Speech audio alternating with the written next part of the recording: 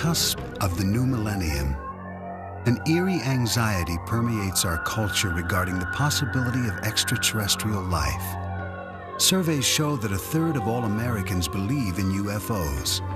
Nearly 5 million claim they have encountered alien beings. Scientists remind us that these fantastic sightings are unconfirmed and unconfirmable. Skeptics insist that the people who make these claims are either deluded or they're exploiting the controversy for personal gain.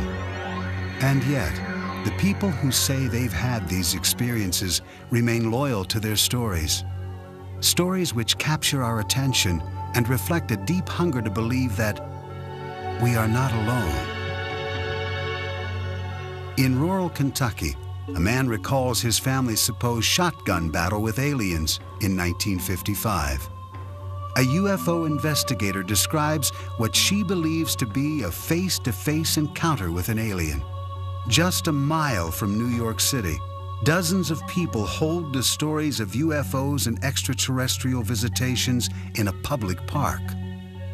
And finally, a biblical scholar explains his belief that 6,000 years ago, all of human civilization was influenced by visitors from outer space. The notion of extraterrestrial life, fact or fiction? Or can it only be described as unexplained? In 1955, Kelly, Kentucky, 70 miles north of Nashville, Tennessee, was a peaceful farming community. On the evening of August 21st, deep in the Kelly countryside, a party of 10 people reported a wild encounter with aliens. The Langfords were winding down from a family get-together filled with laughter and card playing. Twelve years old at the time, Lonnie Langford says he remembers that night clearly. There was me, my brother, my sister, two half-brothers, their wives, and a friend and his wife. And that's about it, besides my mother. We just sat around, you know, and talked and played cards. And my half-brother's friend, Taylor, he had to go out. You know, we didn't have no uh, inside restrooms back then. And uh, as he was going out the door, he looked up and he noticed this uh, round object. It had lights all around it. The Langfords' guest raced inside to tell the others what he had seen. They all thought he was joking. The card playing went on, uninterrupted. Finally, everyone turned in for the night, everyone except Lonnie's mother. She was just laying there awake with her eyes open and looking out the uh, living room window and uh, I saw this uh, little uh, this object standing there. She screamed, you know. Everyone jumped out of bed, and Lonnie's brothers grabbed their shotguns. He saw uh, little creatures, three foot tall, web feet, web ears, big eyes, hands that were web shaped like. They were silver, had silver uniforms, no noise, no sound, no talking. They was just there. I don't know why. Lonnie and his family watched the creatures float through the air as his brothers fired their shotguns. They say some bullets knocked the aliens over, but that to everyone's horror, the strange beings got back up again, unscathed. Everybody got roused up, started hollering and uh, screaming. Lonnie's brother headed outside with his shotgun. Just as he was going outside, one of them grabbed him by the hair of the head, and then he jumped on out in the yard and, you know, shot at him. Lonnie Langford said he and his family watched in terror as these glowing beings circled their home. When his brothers finally ran out of ammunition, they brandished their flashlights. The beams illuminated the sky, and to the family's surprise, the silver creatures quickly retreated into the darkness. They wasn't trying to hurt nobody. They wasn't, they wasn't trying to hurt us all. I think they was more scared of us than we were of them. you know, but I was, I was really scared. You know, I'm just telling you the truth. Is Lonnie Langford telling the truth? Or is his story nothing more than a twisted memory from a family gathering gone awry? What we do know is that on the same evening, other residents in the area had reported what they believed to be meteor sightings. accompanied by a strange, machine like hum. When the Langfords reported their sighting, police officers, state troopers, and even soldiers from the nearby Fort Campbell Army Base arrived to check it out. Kentucky State Trooper Russell Ferguson investigated the incident. He found no physical evidence to substantiate the Langford story. The only thing that we did find was the family there, uh, rather disturbed, uh, very emotional, and swearing that something had occurred in the way of small, silver looking people with big eyes and big heads trying to get into their house. UFO investigator Philip Imbrogno finds the Langford family's story compelling. He thinks they may indeed have encountered extraterrestrials. It is one of the cases that is actually very convincing because here you have a family that really didn't care anything about UFOs, and all of a sudden they report that they had these little beings coming on their property and they fired on them and so on. And to this day, that is one of the cases that convince me that perhaps we should consider that there are extraterrestrials here from time to time that have landed on our planet and interacted with our society.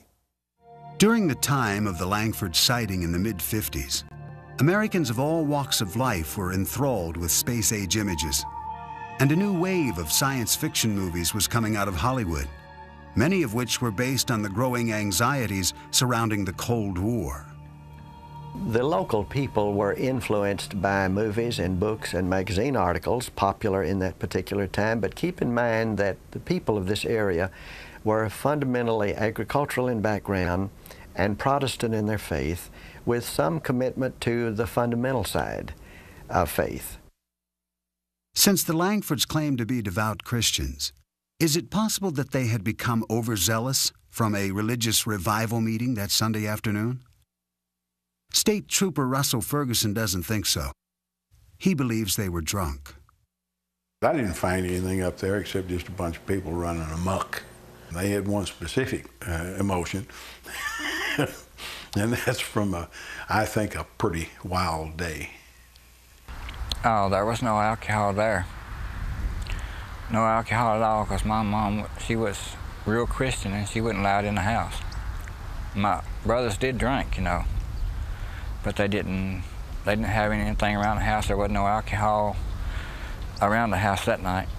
Another explanation for what took place that night involves a traveling circus which happened to be passing through town. I went to our newspaper files and found the uh, show showing of the Shrine Circus here at our fairgrounds for three nights, Thursday, Friday, and Saturday, prior to this activity at Kelly.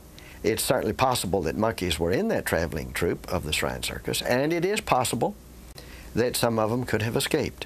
Some people said it was monkeys from a circus. I didn't know that there was a circus at the time, and neither did my family. There ain't no silver monkeys. How can a monkey be silver? If these strange visions weren't brought on by excessive drinking or playful chimpanzees, what really happened? One author on paranormal phenomena, Greg Little, thinks there could be a scientific explanation. This part of Kentucky lies on a major fault line Little points out that tectonic pressures in the Earth can create unusual forms of electromagnetic discharge, strong enough to disorient people. These electromagnetic plasmas have this enormous, powerful electromagnetic field around them. And when a person gets close to this field, it does interact with brain biochemistry. It also produces serotonin a substance that is biochemically identical to a uh, hallucinogenic drug called dimethyltryptamine, which is a 30-minute LSD trip, which, gee, if you had a 30-minute LSD trip when you were asleep, what would we call that? A dream. Dreams, nightmares, few, if any, will ever be sure of exactly what happened that summer night in 1955. I have no idea why the aliens visit me. Was just passing over and something got curious and wanted to come down. I don't have no idea. Why do you think God put all those other planets out there and all those moons and all those other suns and just left this one with life on it? All the rest of them out there is without life now. I ask you, if you were suddenly capable of going from here to uh, Mars or uh, the sun or whatever other planet, and you were coming to Earth with all that technology that was available to you. Now, surely to hell you wouldn't land in Kelly, Kentucky, when we've got the nation's capital and all the other big cities and what have you. No, I don't think so. One thing is certain. Lonnie Langford and his family did not go out seeking extraterrestrials that August evening. And the memory has haunted them ever since. There are areas around the world which are known as so-called UFO hotspots because of the frequency of reported sightings. Pine Bush in upstate New York is one of those places. That is what attracted UFO investigator Ellen Crystal. This is where she actively attempts to initiate contact with aliens. Having written a book on her experiences called Silent Invasion, she believes her 20 years of research, including over 1,000 photographs, offers evidence of the existence of extraterrestrial life.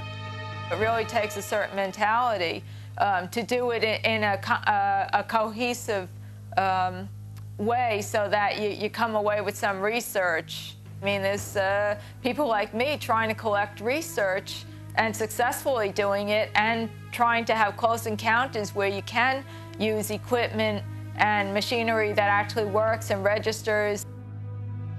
Ellen first began searching for extraterrestrials in the countryside around Pine Bush during the early 1980s. At that time, a psychic told her that she had been cured by aliens during a severe childhood illness. She basically did a, a reading uh, with me, and she said, um, when you were four, you were really sick and she said, I see the ship above a White House and they healed you. And I said, Well, I was sick. I was sick for eight months. I thought I was two. This psychic reading motivated Ellen to pursue her dream of meeting up with aliens. This is her story. She maintains that on August 7, 1980, she had a close encounter which satisfied her curiosity, perhaps more fully than she had expected. My own stipulation was that I would not walk in a new field that, that I hadn't walked in already. So um, I had gone up to actually uh, the first site, which is right up here, uh, about half a mile, and I was standing in the field and I was turning around, just watching some nebulous lights. I saw a huge uh, bright light go down in the trees right across the street from me. I wasn't sure what I wanted to do. I kind of thought they were daring me. Ellen took the challenge. She drove from field to field, contemplating her next move. Gathering up her courage, she went back to the spot where she had first seen the mysterious lights. She says that as she aimed her flashlight up into the trees, she saw something that looked like a moth. But when she moved the light down, she saw legs. Legs that appeared to run in place. But the thing ran across the clearing when it could have ducked into any bush. This, this was the other thing that, that puzzled me. It ran across the clearing, came to the edge of the clearing, stopped and stared at me. The alien in Pine Bush was about three and a half feet tall. Um, no discernible clothing, beige, uh, very pale beige looking, very thin, uh, large head, no hair. Um, very big yellow eyes uh, that wrapped around to the side, and, and the eyes were what uh, caught in my flashlight. Ellen was bewildered by an overwhelming power, which she sensed radiating from the creature. I mean, they, they look, if you just look at somebody that size, you think nothing, like a child. But then you get this awesome feeling of, of power. And at that point, I probably decided to take off. That was probably one of the deciding factors.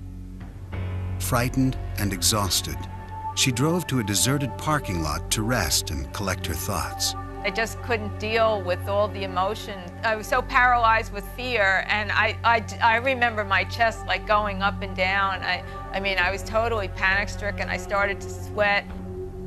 Ellen Crystal kept a journal of this and other experiences that she included in her book. As part of her research, she has developed elaborate theories all her own about why these aliens have come to Earth. I think that the aliens have a problem. I think they have a really terminal physical problem. I think the only reason that aliens would be coming here on such a massive level would be if they have a terminal physical problem and that essentially equates to reproduction, that they may, may be a race on the edge of extinction.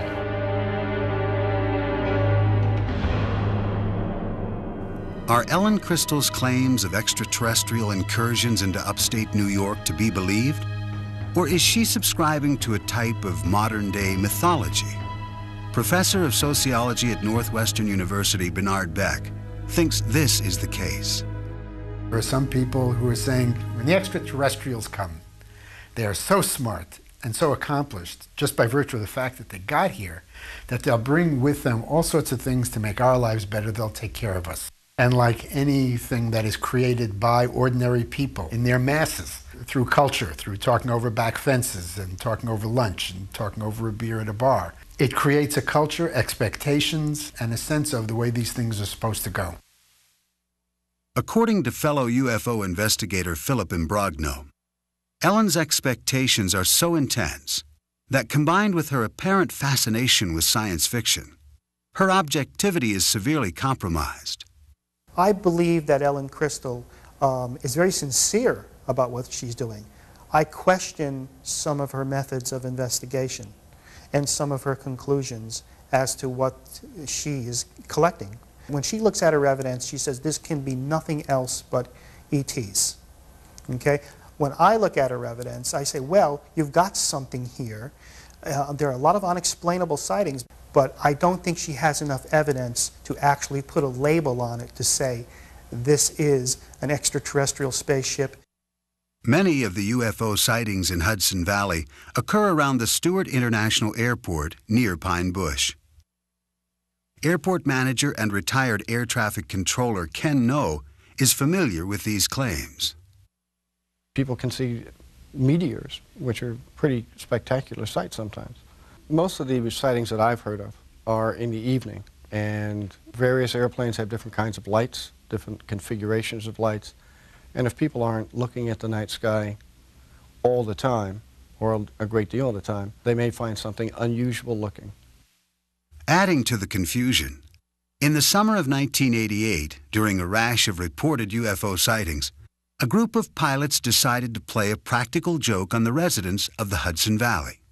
They flew in an echelon formation, or if you like, a V formation, in small light aircraft, which don't make a great deal of noise, and they looked pretty impressive. So it was quite an impressive sight. And a number of people reported that as a a UFO, which probably was the pilot's intention in the first place, to have some fun with folks. It caused quite a stir for a number of years. Ken No and other local air traffic controllers remain skeptical of Ellen Crystal's conclusions and of her UFO video research. I have seen some of her work, some of her photographs, um, and I think they're certainly questionable. These tapes were shot near the Stewart International Airport.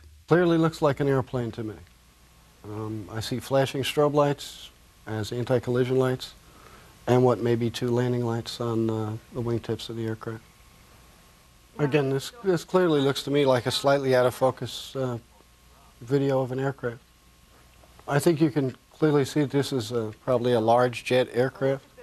At this point on the tape, you can even hear the engines. Looks like an airplane to me. Ellen's photographs fail to hold up under any scientific scrutiny. Another problem is that her reported sightings tend to take place when she is alone. Psychology professor Hubert Dolezal says that when Ellen's psychic told her that aliens had cured her during a childhood illness, it may have caused these delusional sightings.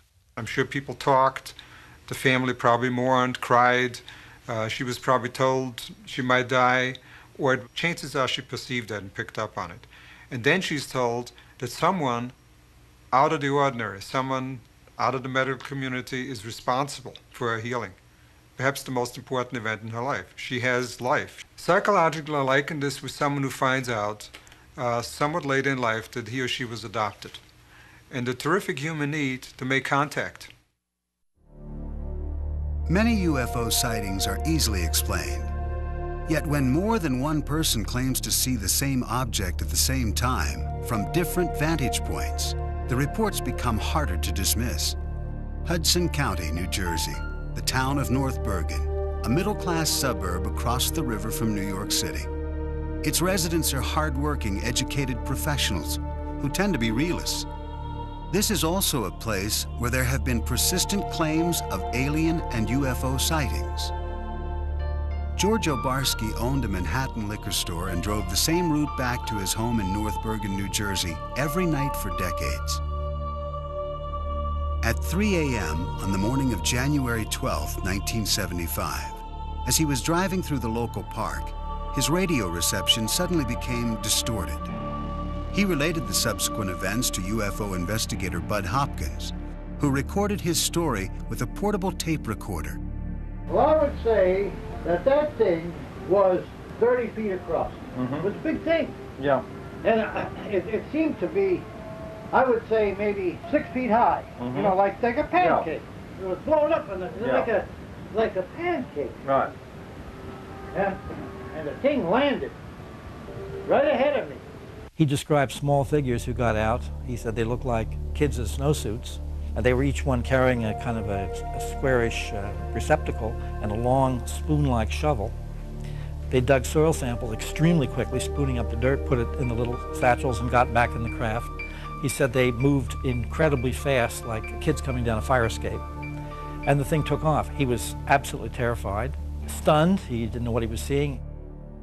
Even after George O'Barski made it home, he was still shaken, terrorized by what he had encountered. I was scared to death. Yeah. You know, I was I was sweating, and I immediately made some tea. Boy, after that, I turned on this radio and took two aspirins. Hey, You know, I was, I was scared. Right. Man, this either I'm going crazy or there's something awful wrong with.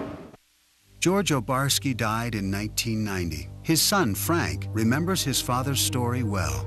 What he described was a, a big saucer-like uh, object, uh, which, for want of any better explanation, you'd have to call a UFO, unidentified flying object, that came down, was sort of disc-like on the bottom, had very strange lighting, sort of glowed.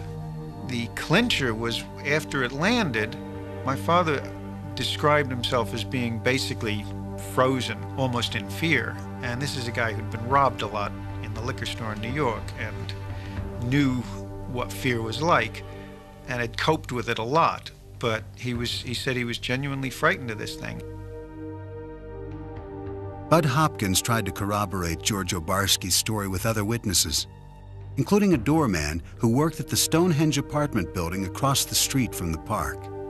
I realized it was a big apartment building there. So I spent weeks trying to locate the doorman. I called him and I remember my adrenaline rushing when this man said, I will never forget it. This flying saucer came down and landed in the park. And I watched the thing come down. Then he started describing what it looked like. And it was a, an identical description to George. After writing about O'Barski's story in the Village Voice newspaper, Budd Hopkins kept looking for other possible witnesses. One family came to light afterwards. They were living about five blocks away, seeing this object coming down the street, maybe uh, 40 feet up, slanted. And they described it as if it was looking in their windows. Uh, and even though the woman in the family was ill, um, she, she ran outside in her nightgown, bare feet, and uh, the father and the children ran out, and they followed this thing down the street. A North Bergen schoolteacher, Ann Karlovich, says she listened skeptically as her daughters described the telltale evidence in the park on the day after the alleged incident. Back in 1975, uh, we had heard about this incident that there was a, a flying saucer in the park. So my daughter and her friends went down to the park to see what was going on, and they all came running back saying they saw rings and burn marks in the grass uh, in the field down near the softball field. And uh, they told me the whole story about broken windows, that the Stonehenge had a large glass facade and it was broken by a beam of light that hit it. The kids were awfully excited about it. Frank O'Barski also went to the site with his father. He knew him as a practical man, so it was difficult for him to understand why his dad held to such a seemingly irrational story. He didn't show much interest in things that couldn't be proved or disproved or that didn't apply to everyday life. And this was one of those categories that he felt didn't apply to everyday life. So I had a lot of trouble reconciling my knowledge of my father with this story he was telling me. He said, uh, You know, I've lived a long life as honorably and truthfully as I was able to. And he said, A man doesn't do that for over 70 years and then throw it all away by making up some foolishness. Since the alleged sighting made famous by George O'Barski in 1975, residents of North Bergen, New Jersey have reported seeing dozens of UFOs on a number of different occasions. In the early evening of July 6, 1986, Wall Street investor Ron Lee and artist Nanetta Nappy were enjoying the sunset on her Terrace in the Stonehenge apartment complex. I just said, what the heck is that out in the sky? I was just staring out and I saw something that was unidentifiable to me. And Nanetta and I looked at it and it wasn't moving. It didn't have any sound. And we just followed it with our eyes and tried to guess what, what that could be. Had it had a motor sound to it, I would not have been suspicious, but the fact that it was so silent and large, it was a large-shaped object, it drew my attention even further. I might have just ignored it. It was oval, and it had two, three sets of lights underneath it. And it just kept stationary in the sky for five, ten minutes, and then at some point, it just took off and went south in a fashion without gaining momentum, but just going straight off with uh, accelerated speed uh, beyond what I was used to seeing. And shortly after that, very shortly, we saw, we heard noise and, and then saw military aircraft following it.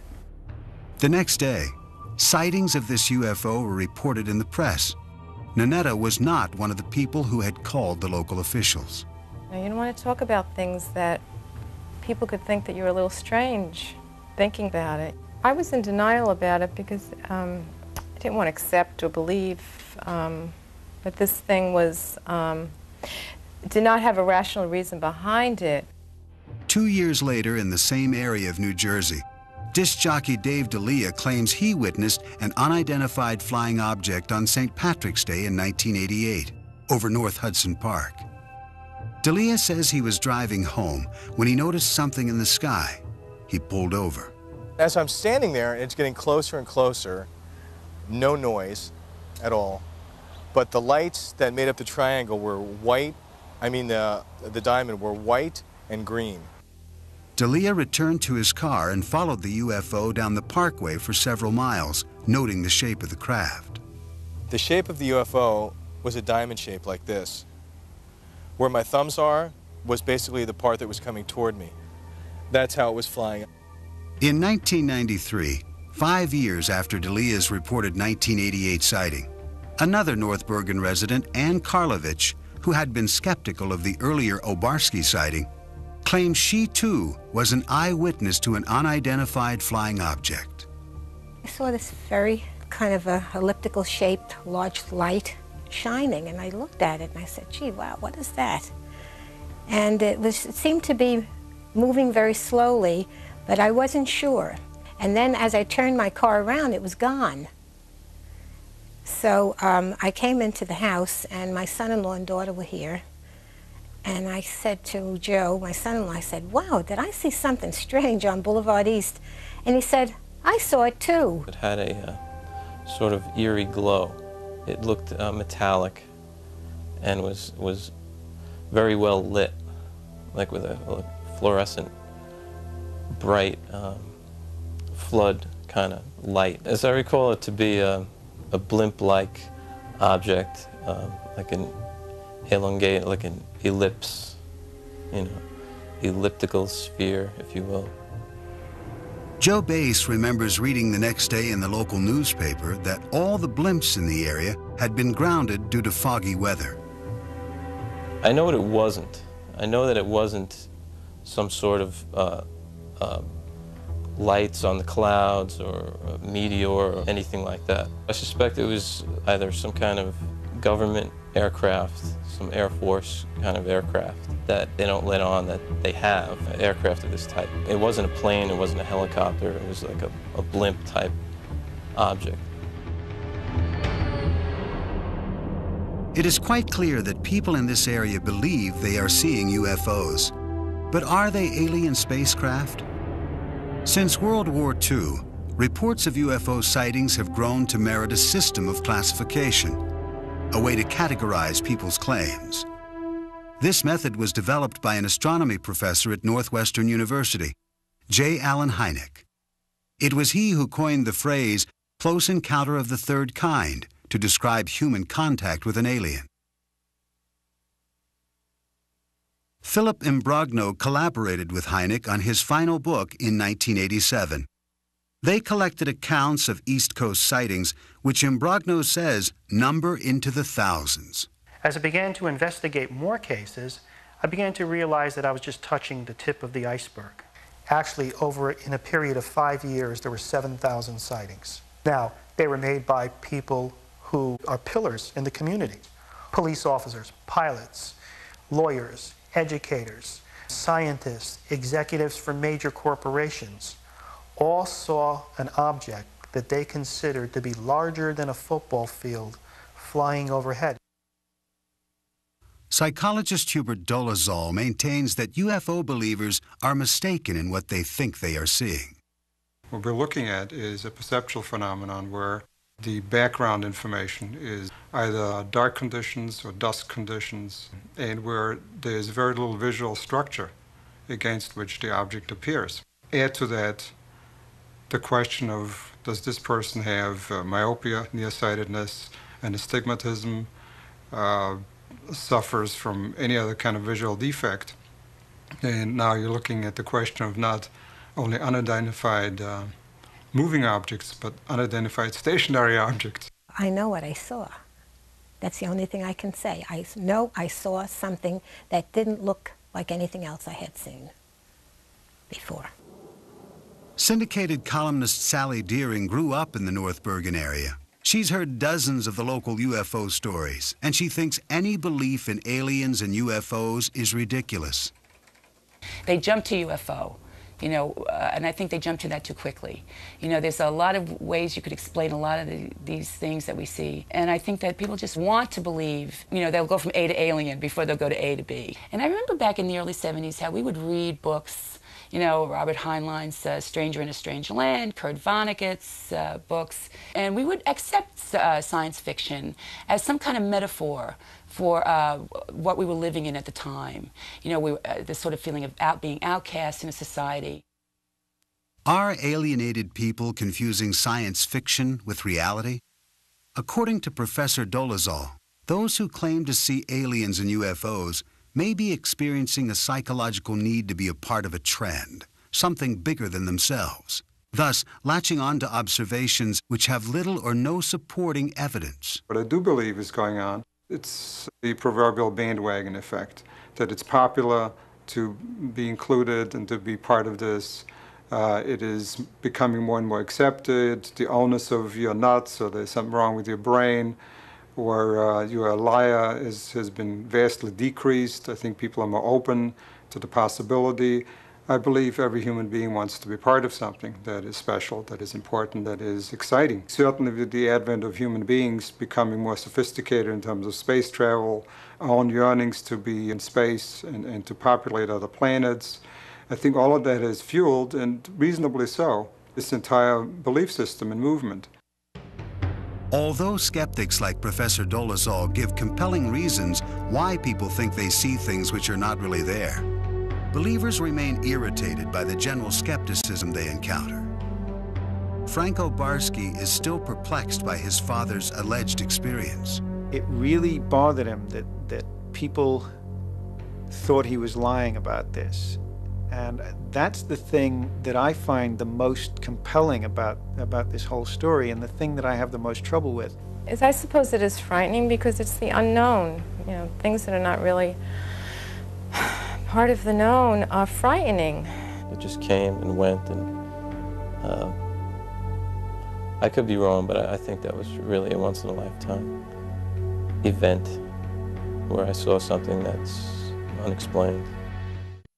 Approximately 6,000 years ago, in southern Mesopotamia, a people known as the Sumerians developed an advanced society. As with the ancient Egyptians, many aspects of Sumerian culture remain cloaked in mystery. Zecharia Sitchin is a biblical scholar and expert on ancient civilizations. He believes that extraterrestrials called the Anunnaki visited this planet and influenced the Sumerian culture, a culture which attained heights that have not been matched until modern times. They had incredible knowledge uh, of the heavens, of astronomy, of mathematics. Uh, they had uh, high-rise buildings. Uh, they uh, were the first to introduce the wheel. They had art, they had music, they had dance, they had laws, they had courts, they had judges, they had kings. Everything that we consider essential to a high civilization appeared there almost overnight 6,000 years ago. Sitchin bases his beliefs about the extraterrestrial influence on the Sumerian myths, which were written on ancient tablets. He contends that these myths describe actual experiences with the extraterrestrials known as the Anunnaki. The following text describes an assignment given to the ancient astronauts. Some were told to orbit and guard the Earth, while others were sent down to settle. Assigned to Anu to heed his instructions. 300 in the heavens he stationed as a guard, the ways of earth to define from the heaven and on earth. 600 he made reside, after he all their instructions had ordered to the Anunnaki of heaven and of earth, he allotted their assignments. I surmise from those various texts, uh, they uh, were uh, losing their atmosphere on their planet, whether because of natural causes or ecological developments. According to Sitchin, these texts describe the Anunnaki coming to Earth to acquire gold particles, which they would use to shield their atmosphere. The myths also offer information about law, astronomy, and the cosmos. In these texts, our solar system consists of not nine planets as we know it, but of 12, with the Anunnaki coming from the 12th planet called Nibiru. This mysterious planet comes close to the Earth's orbit every 3,600 years. The evidence from those ancient texts, from those ancient depictions, leaves no doubt in my mind that others from another planet were involved not only in our creation by jumping the gun on evolution, uh, the way the Bible uh, states it, but uh, they were involved in giving us civilization for uh, uh, many uh, millennia thereafter. Did the Sumerians evolve differently from the rest of humanity? Nearly all scholars on Sumerian culture dismiss Sitchin's hypothesis, including Professor Miguel Civil of the University of Chicago. In my experience, there is nothing in the evolution of the culture in southern Mesopotamia that cannot be explained by the normal evolution of, of culture in general. Professor Civil maintains that the Sumerian mythological texts are nothing more or less than what they appear to be myths. He doubts Sitchin's ability to accurately translate these texts. The author mixes languages and explains one form of a language by another and sometimes he seems almost incapable of recognizing whether a, a, a word is Sumerian, Akkadian, or Hebrew. Not only do scholars of cultural anthropology like Professor Civil differ with Sitchin's 12th planet theory, there are astronomers who argue against its very premise.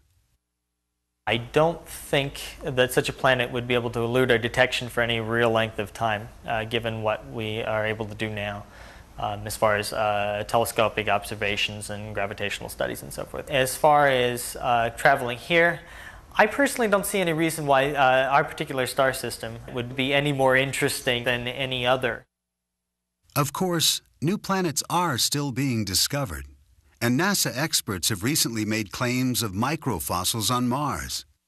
These findings have led most natural scientists to concede that there is a distinct possibility of life evolving elsewhere in the cosmos.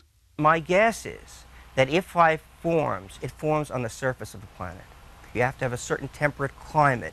You have to have water on the surface or water just below the surface. It's possible that some of these precursors for life, the organic molecules, get seeded onto, the, onto primitive Earth, say through comets. We know that comets have a lot of organic chemistry going on them.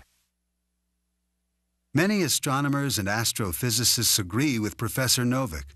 And yet, if there is advanced life elsewhere in the heavens, even in possession of sophisticated technology, the distances involved in navigating the stars are simply too vast.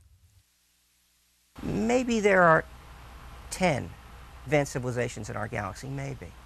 But if there are, and this is really far-fetched, if there are, they are so far away from us that there is no chance. They are hundreds of thousands of light years away. There is no chance, zero, that we will ever be visited. The best way to describe um, the distance to the stars, the distances are actually quite, quite vast. Um, the distance from here to the galactic center, we're just talking roughly 30,000 or so light years, I believe.